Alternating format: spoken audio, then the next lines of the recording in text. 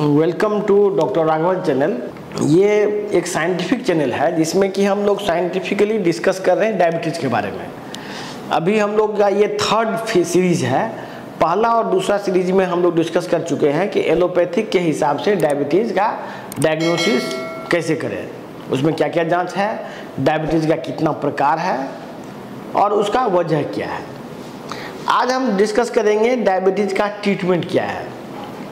सबसे पहला एलोपैथ में डायबिटीज़ के ट्रीटमेंट में सबसे पहला चीज़ जो आता है वो है डाइट चार्ट। डायबिटीज़ का एक डाइट चार्ट जो आईसीएमआर का बना हुआ है, हम आपको देख के पढ़ रहे हैं कि देखिए कि क्या है। Diet chart for type two diabetes में उसमें दिन में दो, पाँच या छः मील का बात किया है।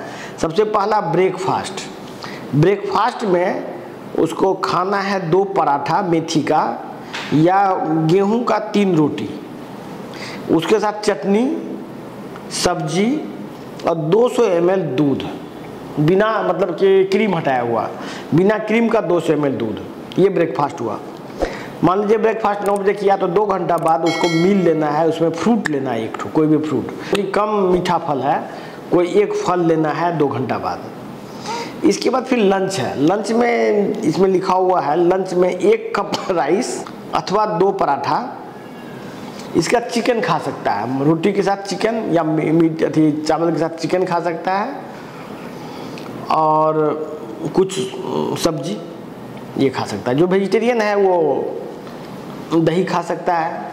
इवनिंग में चार बजे वो एक कप चाय पिएगा, पोहा या बिस्किट खाएगा। रात में या तो रोटी लेगा तीन, या तीन डोसा, सब्ज़ी। सब्ज़ी में इसमें लिखा है बीटर गॉड मतलब करेला का सब्ज़ी। तो ये डाइट चार्ट है मतलब डायबिटीज़ के मरीज़ का। डायबिटीज़ के मरीज़ के इस डाइट चार्ट में जो आईसीएमआर के हिसाब से कोई भी राइस पल्स वेजिटेबल ये सभी खा सकता है आदमी। मिल्क और मिल्क प्रोडक्ट भी खा सकता है। उसमें मीट फ़िश एग ये सब खा सकता है। सिर्फ़ मीट नहीं खाना है मीट रेड मीट नहीं खाना है। ये है आईसीएमआर का diet chart according to ICMR के डाइट चार्ट में और लिखा हुआ है इसमें 40 से पैंसठ परसेंट कार्बोहाइड्रेट होना चाहिए फ़ूड में और 15 परसेंट प्रोटीन होना चाहिए। मतलब और और जो रेस्ट बच गया वो फैट होना चाहिए। तो अभी हम लोग डाइट के बारे में क्या डिस्कस किए? ये जो डाइट है, ये प्राय हर एक आदमी यही खाना खा रहा है। जो भी आदमी डायबिटिक जो डाइट चार्ट अभी बताया गया आपको, ये ऐसे भी हर एक आदमी यही खाना खा रहा है। इसके बाद, इसका मेडिसिन है। ओरल हाइपोग्लाइसेमिक मेडिसिन ये मेडिसिन का मुख्य काम क्या है कि इसका मेन काम है इंसुलिन की मात्रा ब्लड में बढ़ाना या इंसुलिन का एक्शन हो सके ब्लड में, उसके लिए दवाई देना। जैसे कि इसमें सबसे पहला मेडिसिन है मेटफॉर्मिन दूसरा है एकारबोज या भोगली बोझ भोगली बोझ आता है। तीस, इसके बाद फिर सल्फोनाइल यूरिया है। थायोजोलिडिनेडियोन्स है, जिसे पायोगिल्टाजोन आता है। चौथा लास्ट में इंसुलिन है। तो ये दवाई में ये पाँच ग्रुप ऑफ़ मेडिसिन है।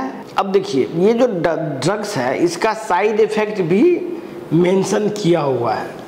जैसे पहला दवाई हम लोग क्या बोले? एकारबोज। एकारबोज का सबसे पहला साइड इफ़ेक्ट है ये, इसमें लीवर डैमेज हो सकता है। दूसरा है बैगोनाइट बैगो मेटफॉर्मिन आता है। मेटफॉर्मिन में क्या हो सकता है? मतलब इसमें भी लीवर एंड हार्ट का डैमेज होने का चांस है। इसके बाद है सल्फोनाइल यूरिया। सल्फोनाइल यूरिया में क्या क्या आता है? वेट गेन होता है। चमकी आएगा, चमकी मतलब मिर्गी मिर्गी आना, लीवर डैमेज, प्लेटलेट काउंट घटना और कैंसर होने का चांस है ये सल्फोनाइल यूरिया में, ग्लीमिप्राइड में। सर तो अभी हम लोग क्या देख रहे हैं कि जितना भी डायबिटीज़ का दवाई है, उसका सबसे पहला साइड इफ़ेक्ट है kidney failure, heart failure, GIT. और रिस्क ऑफ़ कैंसर होता क्या है कि ये जो डायबिटीज़ का जो ट्रीटमेंट है, ये सभी ट्रीटमेंट में एक ही बात है बार बार अभी देखिएगा एलोपैथिक में, बस इतना ही एलोपैथिक का टोटल ट्रीटमेंट है। ये जितने भी लोग इलाज करा रहे हैं, बस यही इतनी बात पर आधारित है कि इसमें कुछ दवाई है, जो दवाई दिया जाता है और उस दवाई का मेन काम है बॉडी में इंसुलिन का मात्रा बढ़ाना। लेकिन इंसुलिन ही बीमारी का जड़ है। जब इंसुलिन का मात्रा बढ़ता है तो इंसुलिन का रेसिस्टेंस डेवलप कर जाता है और इंसुलिन रेसिस्टेंस की वजह से इंसुलिन का मात्रा ज़्यादा रहने पर भी इंसुलिन काम करता नहीं है और धीरे धीरे वो आदमी का शुगर अनकंट्रोल हो जाता है। यदि शुगर कंट्रोल भी हो जाता है तो मल्टी ऑर्गन फेलियर की तरफ़ आदमी बढ़ जाता है। अभी तक हम लोग डिस्कस क्या कर रहे थे कि डायबिटीज़ इंसुलिन की कमी से होता है और इंसुलिन और इंसुलिन से रिलेटेड मेडिसिन से ये कंट्रोल हो सकता है। क्योंकि पिछले सौ साल से डायबिटीज़ का कोई कंट्रोल नहीं हो पा रहा है।